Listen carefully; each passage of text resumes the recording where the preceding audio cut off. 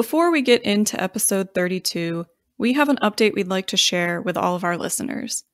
Sally has chosen to step away from CoxPod, but you can still learn from the insights she shared on our first two years of episodes. We thank Sally for her many contributions. And now we thank you for joining us as we kick off year three.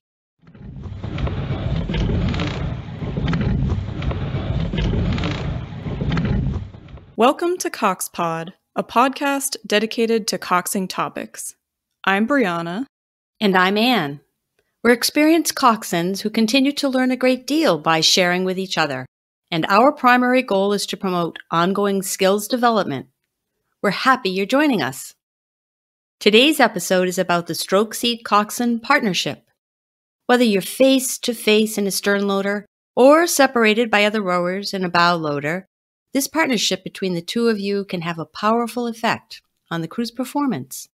As a matter of fact, I actually got my start in coxing as a result of a stroke seat who approached me at my club and recruited me to be a coxswain and did all of my initial training while stroking a powerful men's eight. I'm not sure how he did that, but he exhibited great skills and a lot of generosity to me. And a month later, I was racing with that crew, and the rest is history, as they say. So I want to give a shout out to that stroke seat who had the patience and the persistence and the skills to enable me to be a coxswain. And that's such a perfect example of how important and powerful that stroke seat coxswain relationship can be. It can be the pipeline through which a person gets a new lifelong activity. And that is such an awesome story. The reality is, every single boat that we are in contains this partnership. No matter what, it's something that you're going to have to face, literally, as you sit just inches away from someone in the case of a stern loader. There is a lot to unpack here. So let's start talking about the nuts and bolts of this relationship and how we can ultimately develop it into an effective partnership, because that is a key aspect of having our boats be more effective, efficient, and faster. Let's start off with the fact that there is a wide variety of circumstances under which the stroke seat can be identified. Like who who is that stroke seat? Who is that person, right? Absolutely. You might be on a team where many of the rowers are new. And so maybe the stroke seat is changing constantly as the coach rotates people through that seat trying to figure out who's going to fit best in that role. That might be one scenario you find yourself in. I've been at regattas where I actually don't meet the stroke seat or the crew until just a few minutes before we put hands on and get ready to launch.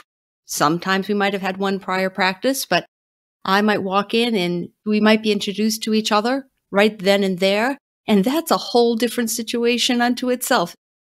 And even in the situation where maybe there is more apparent stability of who is in the stroke seat in your lineup from day to day, that person could be sick on a given day and someone new might be in that spot, or they might have been replaced for whatever reason, and there might be tension in the team environment. So there can be those kinds of dynamics as well that we're navigating. This, as usual, requires us to be very agile and able to adjust and adapt to whatever the situation is. And this is no exception. So whether the person has been just newly installed in that seat or whether you have a long standing relationship, it's something that will require us to be thoughtful about how we approach it. I wanted to talk for just a moment about that long-standing situation. I want to say that I have been very fortunate in that I've been in some boats where the stroke seat and I have been together for almost a decade, maybe more. And it's just such an awesome experience when you have that long-term relationship with someone that you have built a positive partnership with. It means that I can put my energies in the boat, my talents and my expertise to other areas of the boat. I don't have to expend as much energy developing that relationship because it's already forged. We already trust each other. We have some quick ways of communicating with one another. So I have been able to enjoy that situation. I hope all of you get that if you haven't had it yet. It's a very special, special thing. On the opposite end of that spectrum, we might have a really inexperienced stroke seat. And one thing that they might ask you that's a completely valid consideration is where they should be looking. And if they don't overtly ask you, you might get a sense that they are pretty uncomfortable with that literal face to face dynamic. You know, I'm facing forward doing my job, watching blade work, watching our point, looking for obstacles on the river. And I will give stroke seats sometimes the guidance that in the past other stroke seats have found a dynamic of kind of looking over my shoulder and just staring off into the distance, and they find that comforting. So it can be helpful with a new person who might be uncomfortable to acknowledge up front and give them some options of where to physically look since you guys have to be face to face for the entire row. I experience that frequently as I'm coxing a learn to row group, for instance. I think it is very helpful to give them suggestions.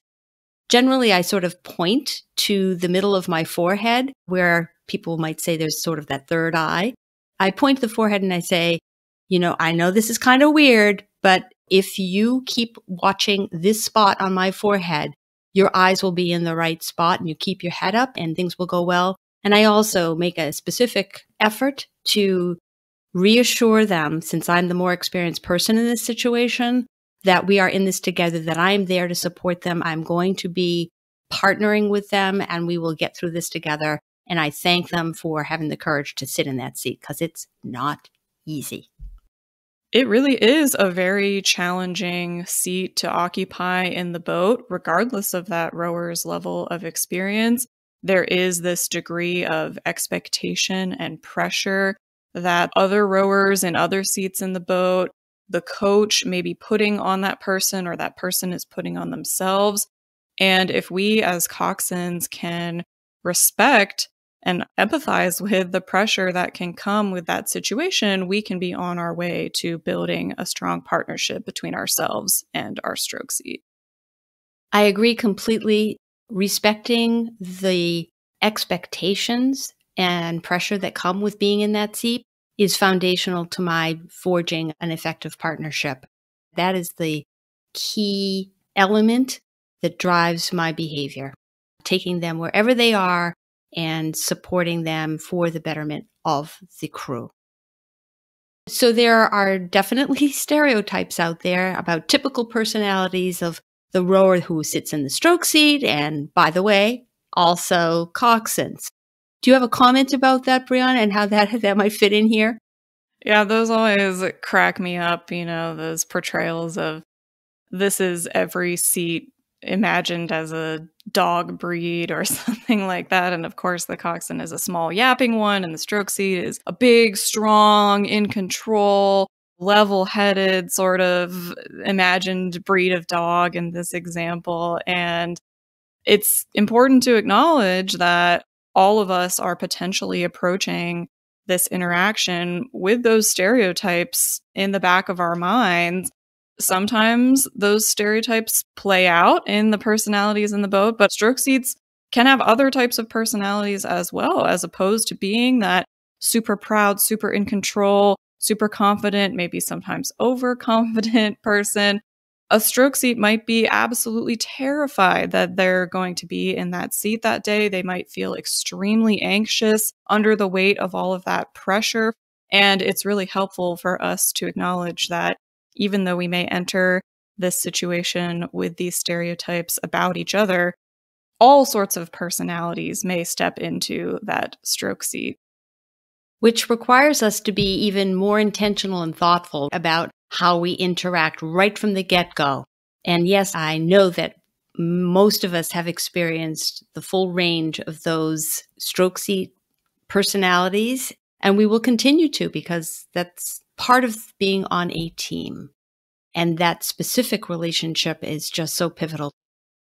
So, what do you think are ways that we can foster that relationship, regardless of whether the person might be overconfident or they might be that anxious personality? For me, it really starts on land. If you have the opportunity to be around while, for example, the coach is reading out the lineup, or maybe it's an email sent the night before, that's the way that you learn who is going to be in that stroke seat role. And right then, you can start taking signals from that person to establish how they're feeling about their placement, particularly if that was unexpected.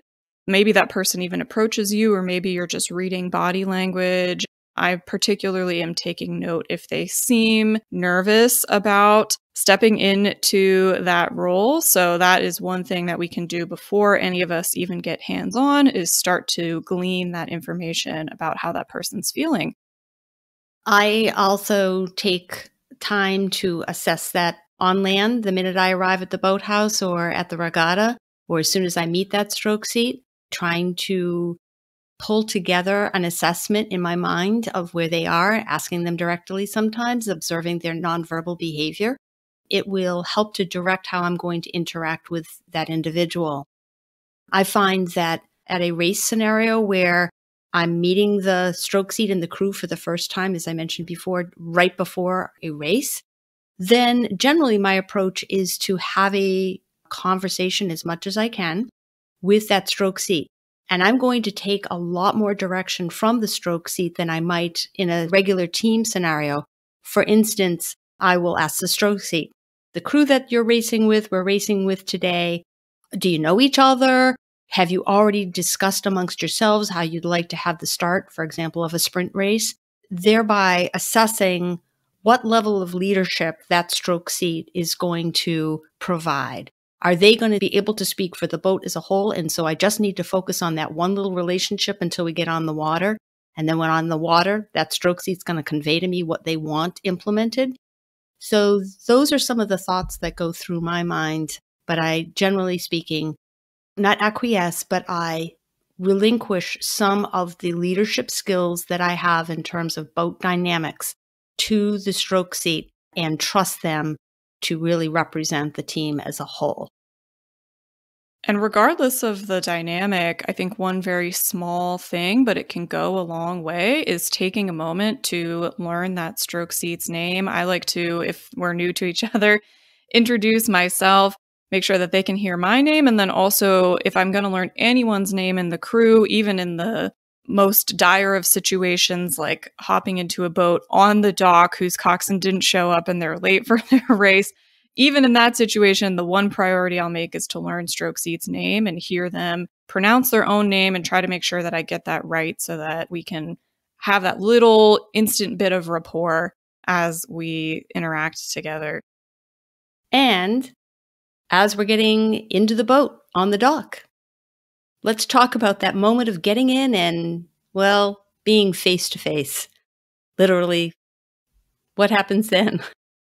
It really is a special and unique moment. You kind of both sit down in your respective seats, and then there you are across from each other. And that is also a time for you to start building that rapport with this person and establishing that you two are in a partnership that's going to ideally improve and strengthen this boat as it goes through its practice or its race.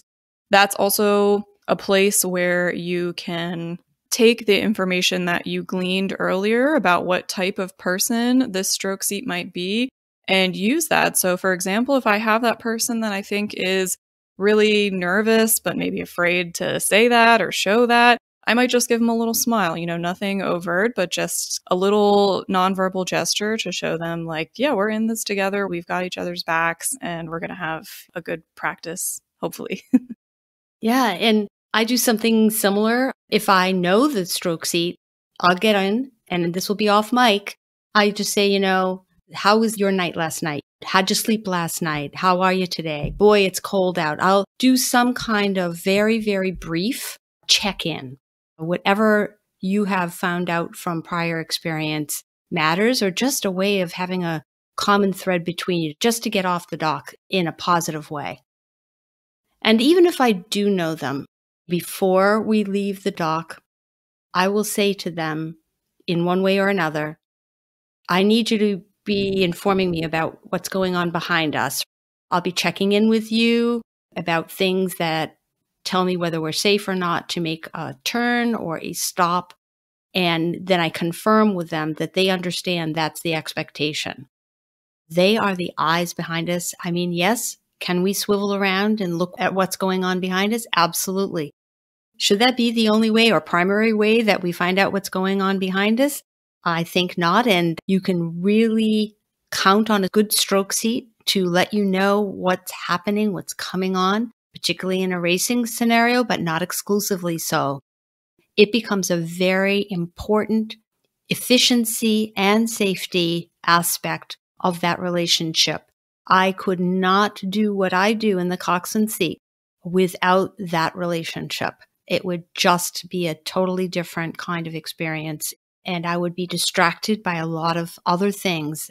This way, with a trust level and vocabulary, we can work more efficiently together. And it's quite a precious thing. It's a very sacred kind of experience, in my view. And we can help stroke seat understand the importance of this aspect of their role through on land conversations, through that moment before we shove on the dock. It might take a little bit of training, so to speak, to help them understand what you would personally like as well. I've had stroke seats who say, there's an eight behind us. They're about 10 lengths off, but they're they're back there. and I'm like, well, okay, I don't need to know yet, but why don't you tell me when they're within two lengths? They might need a little help in knowing exactly what kind of information you would like. And if you notice through your practices together, or even worse, through a race scenario, that they aren't taking on that capacity and you have done that coaching with them, you still have to take on that safety responsibility. So I have had races where I know from practice experience that that stroke seat just isn't going to take on that role. And it is less pleasant. As Anne mentioned, it adds extra stress and responsibilities for us. But for our safety and not getting disqualified in the race, I've had to take those responsibilities on sometimes and spend more time looking around if I know stroke seat in that particular setting and moment is not going to be able to be my partner in that, unfortunately. Right. And to transition just for a moment to the situation in a bow loader, yes, as we have discussed several times before, some of that responsibility is laid on the bow seat when you're in a bow loader. However, I personally have a specific role for the stroke seat, safety wise, which is if a boat is coming up behind us and it's a safety concern, you are the person that is empowered to do whatever you need to do verbally to stop them and make sure that everyone is safe. So I count on that stroke seat to prevent anybody from hitting us in the stern. We have spoken in more detail about bow loaders in some of our earlier episodes on CoxPod. You can check out episode four and episode six.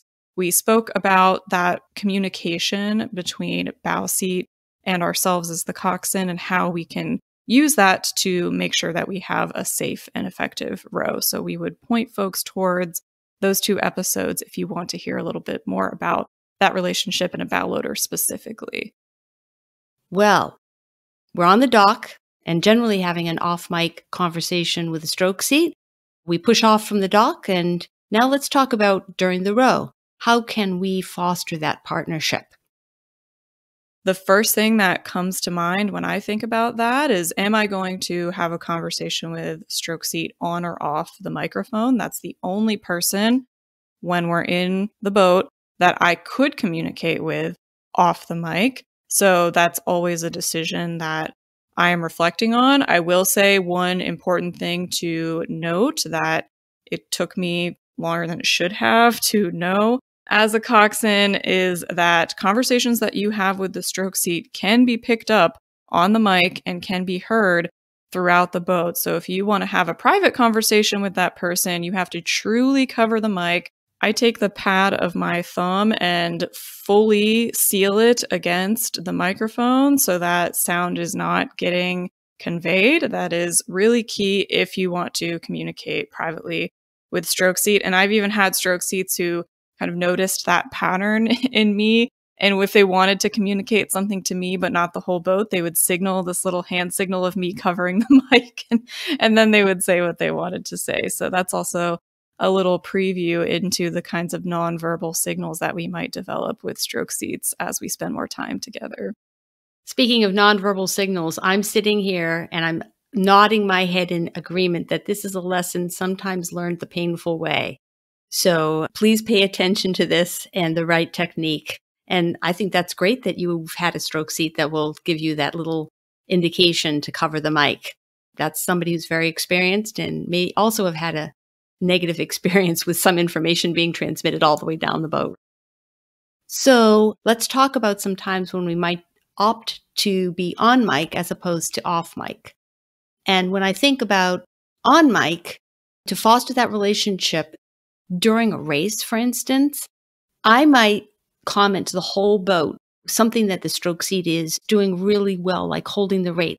And because it's a race scenario, I sort of use verbal shorthand and I might say the person's name and say, great rate shift, stay on that. And that conveys to the crew, I hope, that that stroke seat led us to a beautiful rate shift. They've followed, and that's where we need to be. So I like to acknowledge those positive things that they can continue to build on during a race.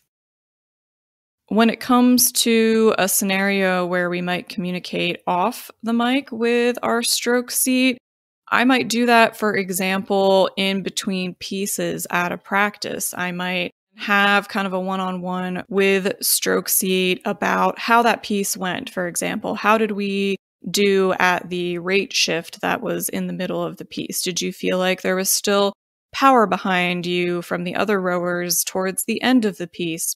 Then we can have the opportunity to implement that conversation and what we learned from it before the next piece. So that's something where I might cover the mic and have that conversation that also serves to emphasize to that person we are in this partnership to make this row as strong as it can be. And here's us conversing about how we can do that. I like that example. I have another one, which is it might be in the middle of a race and it's a stroke seat that I've become very well acquainted with. And we've had a prior conversation about the fact that they prefer to have a reminder. So I might go off mic and I might just look at them and say, breathe, whatever it is that they asked me to remind them about. And I've found that that has been very effective in building that rapport over time. And in that race scenario, something that we can spend our time together with the stroke seat establishing beforehand, if you have the opportunity to be in your lineup together a lot, you might get to the point of establishing kind of a shorthand between you where of course the stroke seat does not have time to elaborate entire sentences while they're in the middle of an intense race.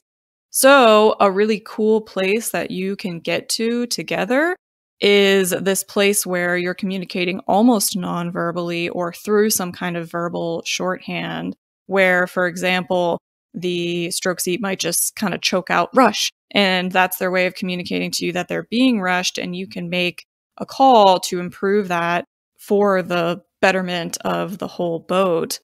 Whereas you might build that slowly during practice by them saying, Hey, I actually felt a little bit of rush during that piece. You know, this is how I'm going to communicate that with you more quickly. A moment that I always really enjoy are times when maybe after a race, a stroke seat will say to me, I felt the ratio start to get bad, and that's right when you called it. And I love knowing that we are in sync together like that. And that might come across again non verbally. They might give a little nod that tells me that was the right call. I really enjoy that partnership that we can have in those moments. I've also had that experience where the stroke seat even just might smile and make a call and the stroke seat just smiles at me and like sometimes that little nod, Brianna, that you're talking about. And that also for me is very much a positive reinforcement and secondarily continues to build that relationship. You know, that we are working together and that we're building trust and they can see that I'm competent and I can see that they feel the changes that are being made for the better. I also have talked in a prior episode, but would like to mention again that sometimes the shorthand feature of having a relationship that's built over time is that I can actually provide for my stroke seat a hand gesture that we have come to agree upon means a particular thing. In this case, keeping the hands nice and level going up to the catch, not diving. So I just make a very quick hand motion and the stroke seat knows that that's what I'm asking non-verbally of them. The rest of the boat doesn't need to know that that's going on. And it seems to be very effective and, and appreciated. I'm supporting them and being their best selves. It's kind of a side note about this relationship and the physical proximity of the stroke seat and the coxswain. I sometimes think about the fact that I can see everything that's going on with them and remembering that they can also see everything that's going on with me, particularly my face. I do not have a face that can play poker in any way, shape, or form. And so I um I want to thank all the stroke seats that have sat across from me and watched my face contort and do also smile sometimes, laugh sometimes, look frustrated sometimes, look excited, all those feelings and intense reactions that I show on my face, they very kindly have kept that to themselves. And I very much appreciate it. It's kind of like I'm hoping that this is a safe space where I can be myself and they're not going to go around saying, wow, if you'd only seen the look on Anne's face just now. True fact, however, that once or twice my stroke seat has said that, but it is a way of bringing the whole crew together and they laugh about it and so do I. But for the most part, I rely on that stroke seat to keep that confidential because it's got to be quite a sight. We do see each other in our brightest and darkest moments. I'm thinking of a stroke seat who, after a race where my Cox box had gone out in a head race situation, and I was frantically trying to get it to reconnect in any way, shape, or form afterwards, the stroke seat came up to me on land and just said, The panic that was spreading across your face. And I was like, Yep, that was just a moment between the two of us. And we got through it. So I can absolutely relate to that. And that is a really important thing. And we thank our stroke seats who recognize that and treat it appropriately. Mm-hmm. One of the common themes here in our conversation has been the importance of doing our best to understand the stroke seat's personality type, by the way, as well as our own, right? This is a bidirectional situation. But if you have skills at assessing their personality and where they are on that particular day, as we mentioned, starting with on land and then, you know, down at the dock getting into the seat and then during a practice or during a race, it pays to build that skill set. And let's talk about the different personalities that might be exhibited by the person in that seat. So, for the anxious, trepidatious stroke seat who might feel that they're not even worthy of being put there. Maybe it's going through their head, oh, the coach must be trying to make me look bad on purpose, or what were they thinking? I couldn't possibly do well in this seat. One of the ways that I try to support that person is by on the mic highlighting things that they are doing well. You got to strike a good balance here. You don't want to be ingratiating, but I might say, for example, all right, stroke seat, you know, referring to them by name for the crew is holding the rate exactly where we're supposed to be for this piece or this race. They're doing a fantastic job. They settled into that rate right away. They're super quick to the water at the catch, exactly as our coach has been working with us on today. Hold them up as a model of a good example of a rowing stroke a good execution of a race plan or a practice plan in the eyes of the crew so that they can have that little bit of authentic confidence boost. You can seek something truthful that they are doing. You don't have to invent something. And if you are honest about that, then they will hopefully get a little bit of a boost from being recognized in that way. I might also lift them up in their role as a leader by reminding the boat to follow them, whether it's to get our rate correct, whether it's some other technical element like the timing of squaring up the blade. I might lift them up as an example and then say, I'd like to see the rest of us supporting them and backing them up and matching them in this. That can be a way to help that anxious person feel a little more confident in their role. I think those suggestions work well, regardless of whether it's a short term, a one row, and then you're done with that relationship, or whether it's a long term, ongoing one. Don't we all need an opportunity to find that skill that we do well and build on that? And in this case, with the stroke seat, articulating that for the crew and giving them a focus piece too. Because everyone benefits. When the stroke seat is confident and doing the best that they can, everyone does benefit. And it's part of our job as coxswains, I believe, to make the row the best it can be. And then we have the opposite scenario where we might be sitting across from a stroke seat who is incredibly experienced and might be overestimating his or her skills in that seat or just on the path to greatness, but not quite there yet. And I think that in that situation, focusing as a coxswain on the team environment, working as a team as opposed to calling them out for a particular thing tends to work pretty well. Do you have a suggestion, Brianna, on that? Yep, that's the approach that I try to take. It might look like a call that says, yes, we are all contributing to this amazing run that we have right now.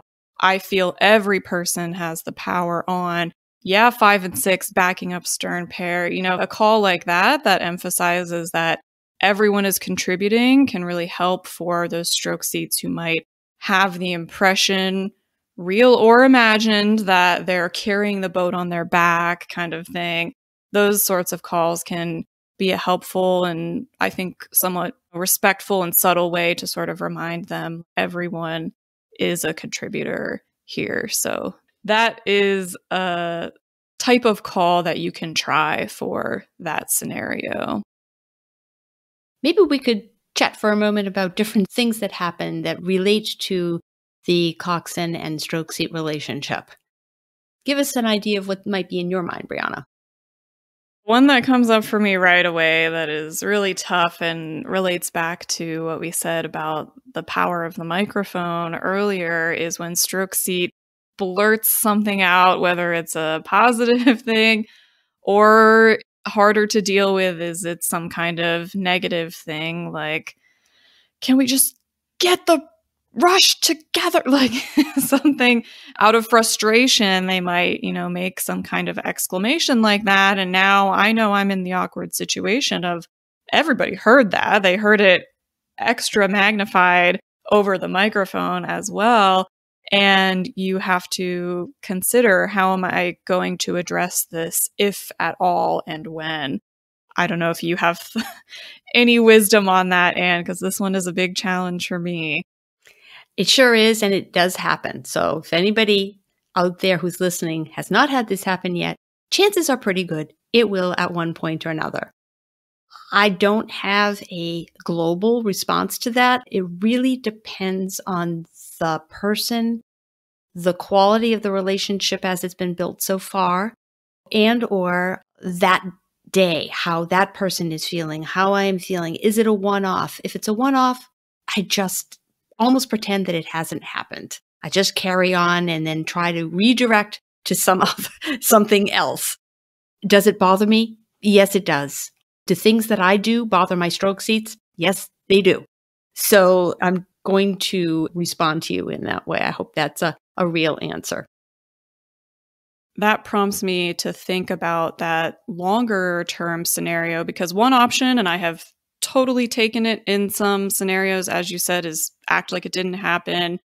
Another option, if you are going to be in a little more of a long standing interaction with that person, could be to try to, in a down moment, not the middle of the piece, dig into what was behind that and try to have a conversation that says, Hey, I understand the rush was pretty bad in that last piece. What are your suggestions for maybe a different piece of language I could try to fix that so that we can work on that together? And I'll try that call next piece. It's sort of your way of acknowledging this is where that frustration came from.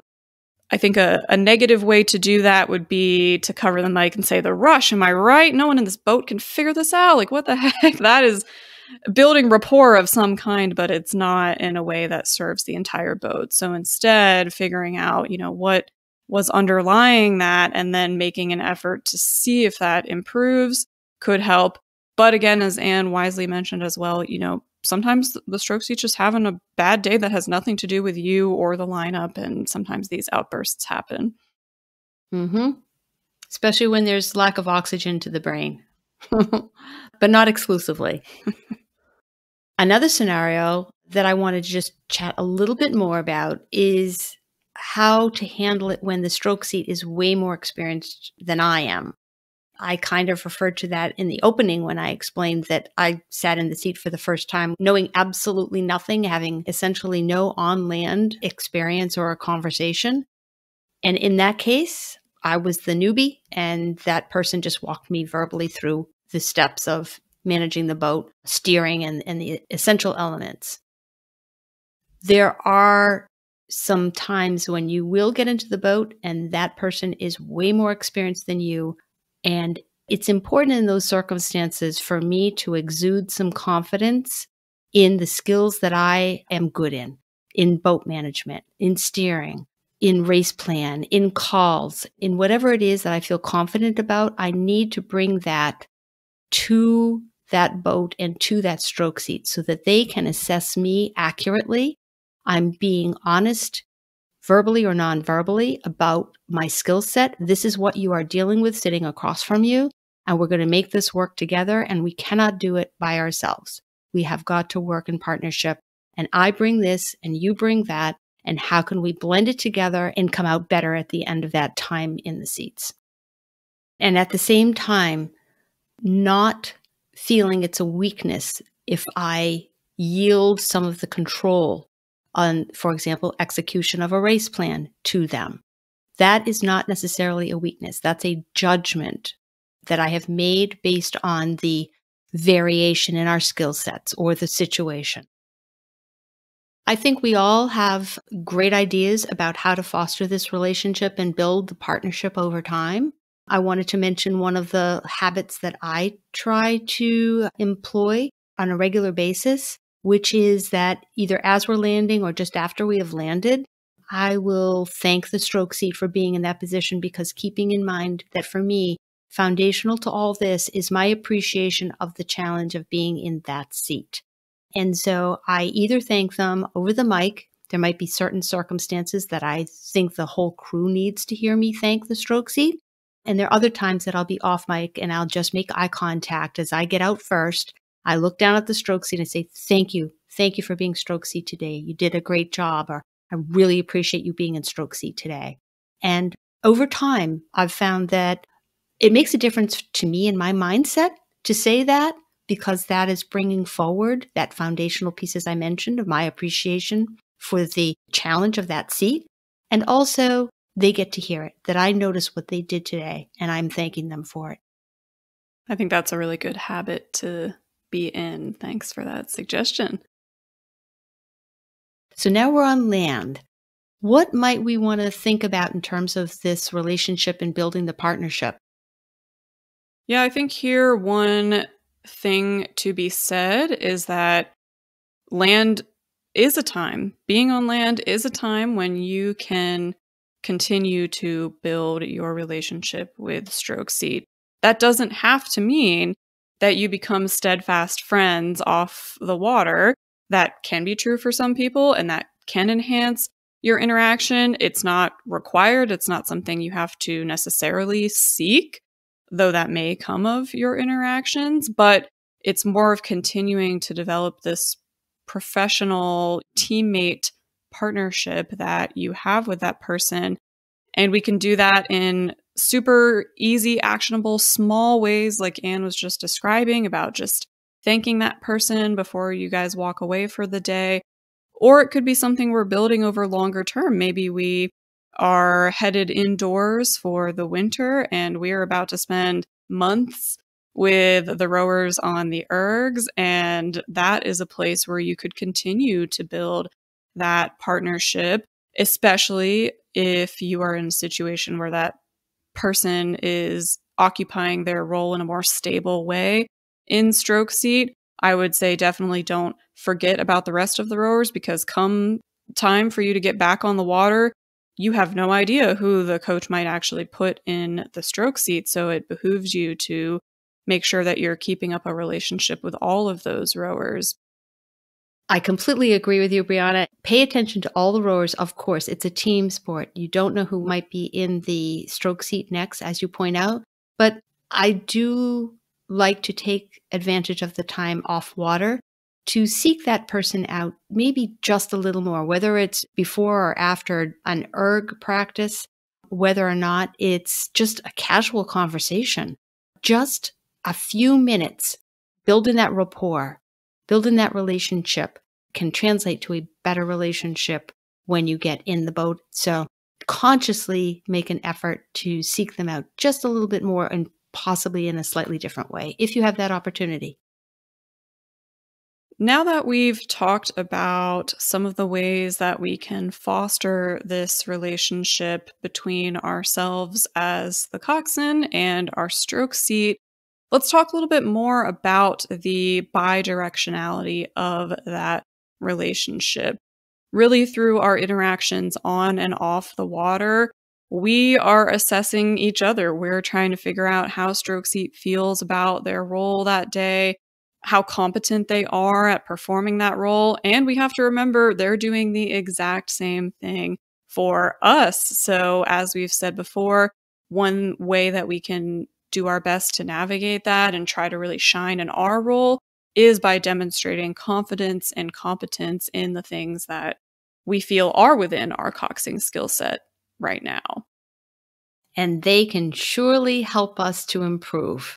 There is so much that they can share with us if we ask. Sometimes it's unsolicited, but it, primarily we should take the opportunity to ask them for this feedback.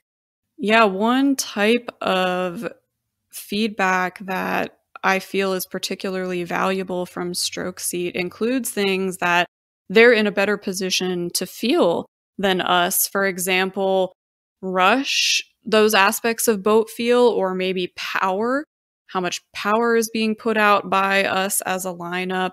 And those are things that we may be more challenged to feel compared to the stroke seat because we are smushed into the coxswain seat, holding ourselves tightly in place, trying not to move and be part of that physical dynamic of the boat. So I really find value personally in using stroke seat as a partner and helping the boat improve in terms of those aspects of whether there's check or rush or whether the power of the boat is there. And so I might say to stroke seat, whenever you feel that, just give me that that heads up, whether it becomes a nonverbal signal or starts as something a little more overt as we build our relationship. And there's nothing wrong with that. I don't view that at, at all as an indication that a coxswain doesn't know their stuff or shouldn't they have their own boat feel and be able to feel this it can be really helpful for improving the performance of the whole boat to get stroke seats view on that and acknowledge that they may be able to perceive that better than you can that's really important, Brianna, to understand that their perception, their experience should be taken in addition to your own. It's very valuable. It's a different seat. They're on wheels. We are not. So let's take all the information and they can talk with you, whereas the rest of the boat, in my view, should be silent. There are other ways that I can leverage the relationship and the power of the stroke seat during a practice or even a race. And my experience has been that it's been helpful every now and then to verbalize something that the stroke seat either has said to me or has indicated to me non-verbally by saying that the stroke seat is feeling this or suggesting this. Stroke seat has indicated there's rush in the boat. Let's all work on this for the next minute, controlling that rush. Maybe I'll say the name of the person. So and so is saying that we need to really accelerate I don't do this that often. I just want to sometimes use the power of that seat, share that with the crew, and it will hopefully unite us for a better experience. This is all part of reading that dynamic between the two of you and the rest of the lineup. And let's not forget that Stroke Seat is also uniquely positioned to give us feedback that others in the boat might not be as privy to. For example, I've sometimes solicited Stroke Seat's thoughts on my steering. I might say, hey, this next, you know, three minute piece that we're doing, I really want to work on steering straight. Could you just take a few conscious looks behind us at our wake? Sometimes they might notice on their own and they might comment on their own, but it can help to give them that prompt as opposed to cornering them on land afterwards and saying, How was my steering today? They may or may not have taken notice of that and be able to share that with you. So if you give them that ability to take note, that's one way you can do it. Depends on how much other stuff is going on in your body of water that might be crossing over your wake or interfering with it. But that is one way that they can help you is by looking at your stern point and the wake that you're drawing in the water as you move forward. And they can also see your hands. That might be something that you ask as well. Maybe you say, Hey, the coach has been telling me that I should be steering with smaller movements. Do you mind just taking a glance down every now and then through today's practice to tell me if you see me doing that or if you see me making big motions with my whole wrist and arm? I'd like to work on that. So, stroke seat is uniquely positioned to help us with our steering.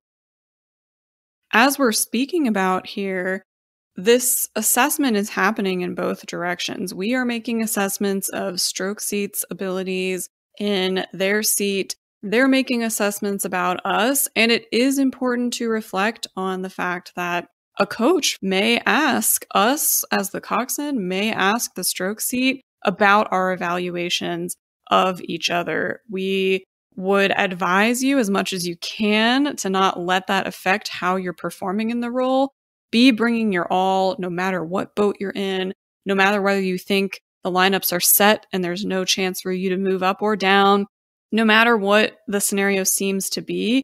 Bring your best to each boat because you just never know. That could be the day that the coach asks that stroke seat, What do you think of how this coxswain was doing today? And vice versa. They might ask you about a stroke seat, that is a possible dynamic that always exists. So it's just something to be aware of and be prepared for.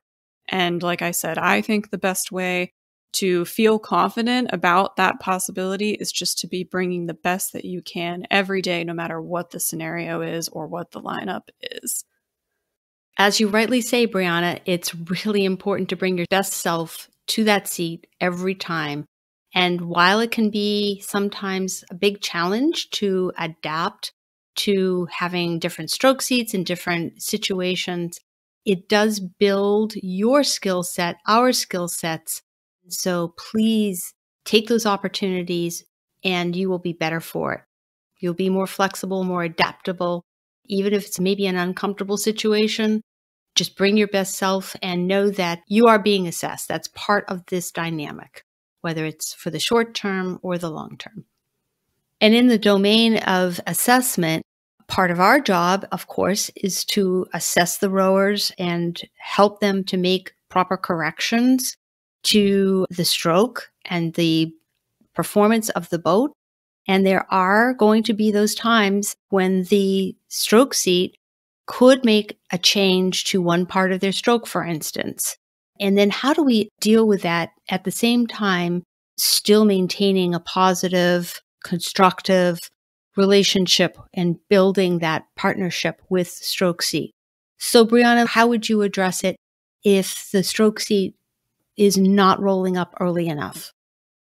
Yeah, this is where we have to strike that balance between uplifting them as a unique leadership role in the lineup but also acknowledging that they too may have flaws. They are a rower with a rowing technique with its good and bad parts, just like the others. And part of our role is to identify ways that that could be improved. So I might take the approach to try to do both of those things of saying something like, I want to spend a little bit of time working on improving the roll up timing here. I'm going to ask Stroke Seat to lead that off and set the example for us. And I might highlight Seven Seat doing that for the opposite side of the boat and say, I'm empowering this person to be the first person to make our change. And then say, yes, okay, I see them doing that. Now, everybody, let's try to follow and match them. So we've made a correction to Stroke Seat but we are now using them as the example for the rest of the boat and encouraging our whole lineup to make an improvement that way while still honoring the role that stroke seat has. That might be a way that I navigate that situation. That is a perfect example that I personally experienced numerous times. And that emphasizes the challenge that is inherent in this relationship deciding what you say, when you say it, how you say it, based on our personalities, this particular stroke seat's personality, the day, who else is sitting in the boat. It's so complex. And for some of us, this might come very naturally and you might do it instinctively. There's some of us that need to really think more deeply about how to approach this and then how to execute effectively in the situation. It's a challenge. It's one I relish. It's a very, very important relationship in my coxing experience. And I'm really glad that we have spent quite a bit of time talking about this relationship and emphasizing that, at least in our view, it's a partnership, whether it's brief, whether it's mid length or long term. And I've started to sort of highlight some key takeaways for me about this relationship.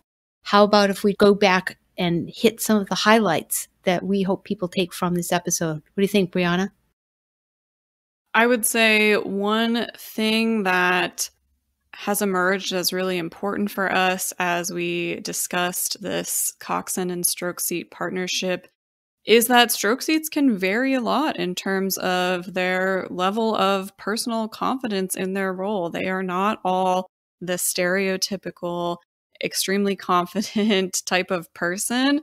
There's a lot of nuance there, and acknowledging that and making an effort to understand where in that personality spectrum a person falls as they're stepping into that stroke seat in front of you can only be to our benefit. Relatedly, we've emphasized the importance of really consciously making efforts to support that relationship, to ideally foster a positive, effective relationship, which is to the crew's benefit. Again, the crew benefits as a whole in every possible way when the coxswain and the stroke seat are interacting well together. And from the moment we arrive at practice to the moment we depart, and all of those moments in between, on land, on the water, all of those present opportunities for us to continue to foster that partnership. As usual, Brianna, we have uncovered that there's so much more to this than typically discussed you and I, as we've prepared for this episode, have gone, wow, yes, and that, and this other topic, and wow, I hadn't thought about that in the longest time. But I think it's important that we try to articulate some of these nuances and some of the joys and challenges that also come with this territory and this special partnership. I think we've really tried to explore more about what that is, what it entails, and its importance. And the longer we've both been in the seat, the more we have appreciated the nuances of this partnership. Both coxswains and stroke seats have unique responsibilities in the sport. And as we've been saying, we benefit from mutual acknowledgement of that fact and mutual respect. And that is our motivation to keep working on that partnership, whether it lasts for one 90 minute practice or for decades. And we want to remind you that our listeners have the opportunity to share their thoughts on Discord. You can find the link to that at coxpod.com slash discord, D-I-S-C-O-R-D. And in fact, this very episode grew out of a question that was originally sent to us by one of you. Please join us on Discord. We appreciate your being interactive and posing questions as well as solutions. And as we come to the close of this episode, we want to thank you for listening. If you like what we're doing, please consider financially supporting us on Patreon. We're excited to bring you more content soon. And until next time, I'm Anne. And I'm Brianna, signing off for now.